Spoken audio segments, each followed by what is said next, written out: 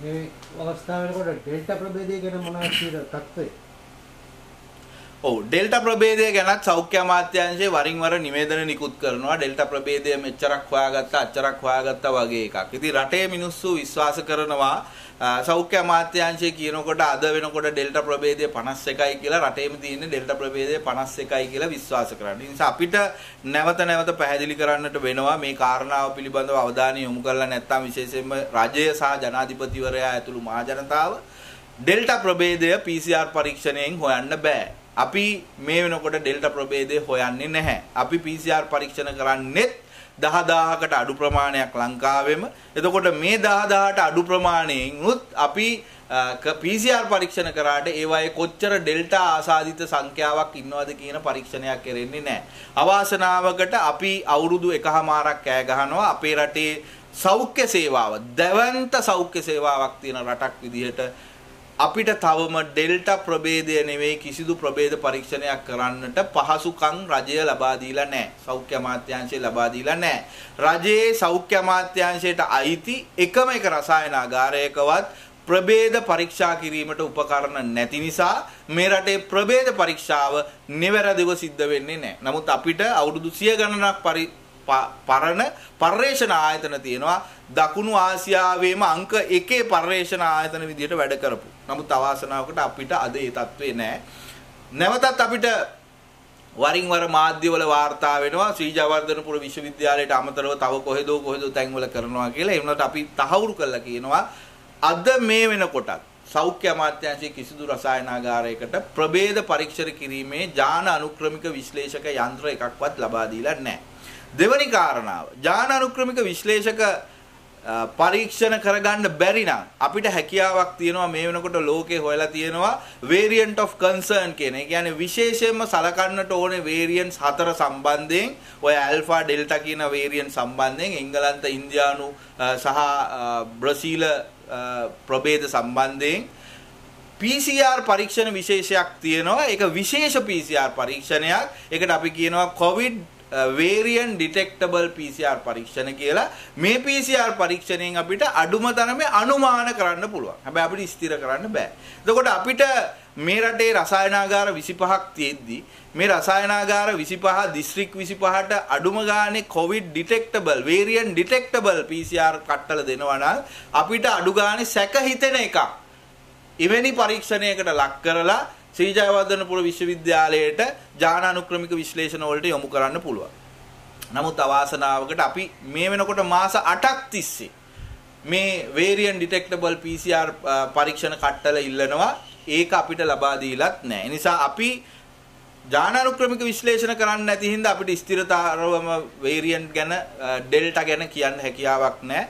අපි COVID detectable PCR පරීක්ෂණ කට්ටල නැති හින්දා අපිට අඩු ගන්න එක අනුමාන කරන්න හැකියාවක් නැහැ. අපිට එහෙම අනුමාන කරන්න හැකියාව තිබ්බ සමහර යන්ත්‍ර පවා සෞඛ්‍ය අමාත්‍යාංශයේ ජාතික රෝහල වගේ රසායනාගාර වලට ආවහම ඒවා පරිත්‍යාග විදියට ලැබිච්ච ඒවත් අපි ප්‍රතික්ෂේප කරා අපේ ඉන්න සමහර සුද්ධ ජීවි විශේෂඥ වෛද්‍යවරුන්ගේ අර මොනවද සන්නාම පිළිබඳව තියෙන තමන්ගේ තියෙන ව්‍යාපාරික කූට උවමනාවන් නිසා ඒවා සම්බන්ධවෙනුත් සෞඛ්‍ය අමාත්‍යාංශයේ කිසිදු විමර්ශනයක් කරලා නැහැ මේ වෙනකම්.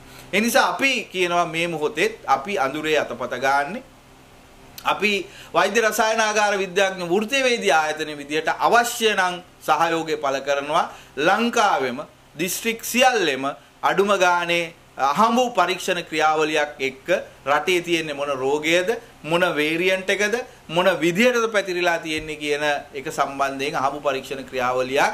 අපිට ඕනනම් මාසයක් හෝ මාසයකමාරක් ඇතුළත කරලා අපිට වාර්තාවක් ලබා දෙන්න පුළුවන්. අඩු ගානේ අපිට ඒකට සහයෝගය දෙන්න කියලා අපි දිගින් දිගටම සෞඛ්‍ය අමාත්‍යාංශයෙන් ඉල්ලනවා. සෞඛ්‍ය අමාත්‍යාංශයට එහෙම උමනාවක් නැහැ. නිසා මේ රෝගය අපි අඳුරේ අතපත ගන්න වේරියන් සම්බන්ධයෙන් අපි අඳුරේ අතපත ගන්න. අපිට මේ වාර්තා වෙන්නේ ශ්‍රීජාවර්ධනපුර විශ්වවිද්‍යාලයට යන ඊටාම අතලොස්සක් වෙච්ච PCR පරීක්ෂණ රටක් විදිහට ගත්තාම රටේ ඊටාම සීමා සහිත ප්‍රදේශයකින් හමු වෙන රෝගීන්ගේ ඔවුන් ඊටාම අවිධිමත් විදිහට ඒවායෙන් තෝරා ගන්න කට්ටල ඔවුන්ගේ දැනුම සහ ඔවුන්ගේ හැකියාව මත පමණක් තෝරාගන්න විද්‍යාත්මකම කියන්න බැරි ක්‍රමවේදයකට තෝරාගන්න PCR පරීක්ෂණ වලින් ආසාදිතයයි තහවුරු වෙච්ච පරීක්ෂණයකින් නැවත වතාවක් ඥානානුක්‍රමික විශ්ලේෂක පරීක්ෂණ කරලා තමයි මේ වාර්තා නිකුත් කරන්නේ. නමුත් අපිට වාර්තා වෙනවා අඩුම ගානේ ශ්‍රී ජයවර්ධනපුර විශ්වවිද්‍යාලය ස්වෙච්ඡාවෙන් මේ ජාතියේ උමනාවට මේ පර්යේෂණ අවශ්‍යතාවය සඳහා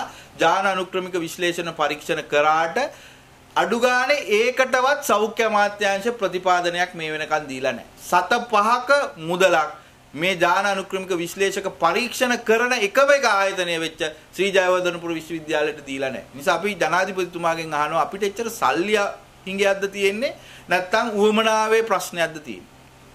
එකම එක ඥාන අනුක්‍රමික විශ්ලේෂක පරීක්ෂණයකටවත් ජයවර්ධනපුර විශ්වවිද්‍යාලයට මෙතෙක් ගෙවලා නැහැ. එකම එක ඥාන අනුක්‍රමික විශ්ලේෂක පරීක්ෂණයක්වත් කිරීම සඳහා අවශ්‍ය උපකරණ ලංකාවේ රජයේ සෞඛ්‍ය අමාත්‍යාංශයට අයිති රසායනාගාර වලට දීලා නැහැ. එතකොට කෙනෙක් කියන්න පුළුවන් මේ කොවිඩ් වල ප්‍රභේදය අඳුරගත්තත් එකයි නැතත් එකයි කරන්න තියෙන්නේ ඒ දේනේ කියලා. සාමාන්‍ය මහජනතාවගේ පැත්තෙන් ගත්තාම ඒ වගේම සාමාන්‍ය විදියට හිතන කෙනෙක් ගත්තාම මේ රෝගය පිළිබඳව සමහර ප්‍රාමාණික දැන උගත්තු විදියට ඉන්න සමහරුන්ගේ දැනුම දිහා බැලුවාම ඒ කතාව සාධාරණයි.